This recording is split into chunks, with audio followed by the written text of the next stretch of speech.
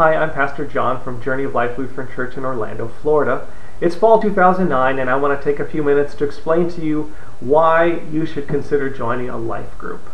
Life groups are the small groups at Journey of Life that meet together weekly or every other week, usually somewhere between 5 and 10 people in a group, and, and they'll pick something to go over, like we have groups studying the shack, we have groups doing Financial Peace University, we have a group doing uh, a study of death and dying from the Christian perspective. And so they meet weekly to do that. Occasionally, the group will decide to do something fun, like go out to dinner or something, instead of do their regular weekly thing. But uh, those are life groups, and here's some reasons why you should consider joining them.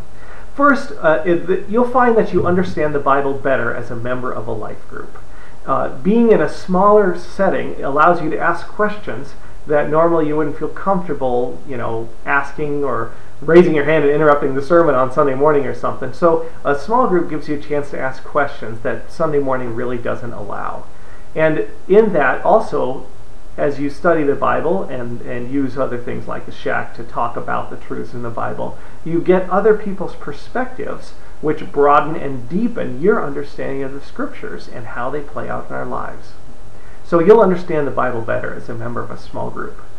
You'll also begin to feel more like a part of the family of God as you build those relationships and the friendships that come from getting together weekly to uh, to study the scriptures and to pray together and to share your lives together because that's why we call it life group. It's about our our lives in Christ and and one of the things that happens is when you when your life uh, has a road bump, when one of the more difficult things happen, and you're struggling, it's easy to feel alone. And when you're in a life group and you've gotten to know some people and you've gotten to the point where you feel comfortable sharing things, uh, you find out that the feelings that you're feeling during your troubling times are not unique to you. And other people have been through the same thing and come through it and can walk with you through the trials. And that can be such a comfort. And it's part of what God has called us to do when He says, bear with one another and bear one another's burdens. Over 50 times the New Testament uses the phrase each other or one another. Love one another, care for one another, bear one another's burdens. And the one another's of the New Testament really happen much more, uh, much more profoundly in a small group setting than they do in a large group setting like Sunday morning worship service. So you'll understand the Bible better. Uh, you'll begin to feel really like a part of the family of God. And you might find that prayer becomes more meaningful for you. And uh, nothing wrong with prayer in the big setting. Uh, being a pastor, hopefully we do a good job leading prayer on Sunday mornings. But there is, a, um, if that's the only time you're in prayer, then you're missing a lot of what prayer can be for you. And, and as you pray together in a small group, you won't be required to pray out loud, but uh, sooner or later you might decide to share some prayer requests or even to pray out loud as the prayer goes around the group you will find that prayer does become a more meaningful part of your life. You will also find that you'll be able to handle the stress and tension and pressure of life better in a small group because, well, you'll be meeting with other people and and uh, you'll be sharing your lives together, and frankly, you'll be having a good time at least once a week, even in difficult times.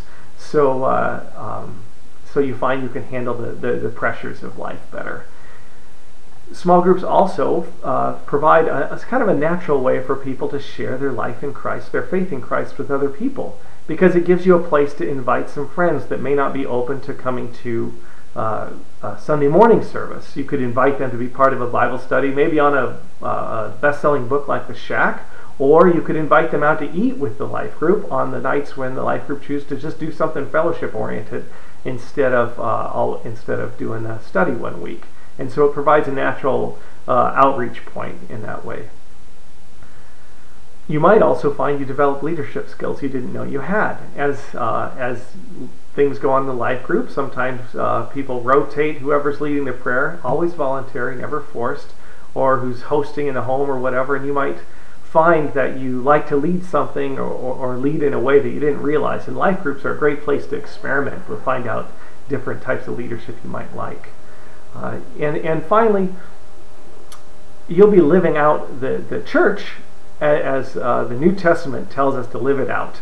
Uh, there is there's two parts to our life in Christ. There's the the celebration where uh, we gather in a large group uh, the, in the early New Testament, it says they uh, day after day they met in the temple courts. That's kind of meeting as a large group, and then they also met from house to house, and that's the small group.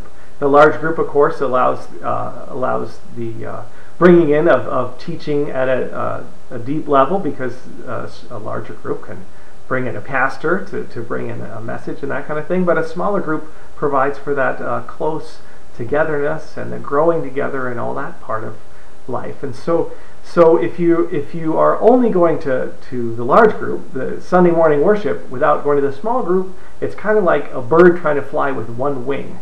And so I would encourage you to at least give a shot to adding the small group wing to your uh, life uh, in Christ, life as a member of a church. If you're in another church and you're watching this, find a small group at your church. And if there isn't one, start one uh, because they're very, very important and valuable. I have experienced uh, the enormous benefit of being a part of a small group many times myself. And so I would just really encourage you to check out a life group and, and at least for make a commitment for eight weeks to say, I'm going to give this life group thing a shot. And you'll probably find that you don't want to be without one again. God bless you. Thanks for watching this video.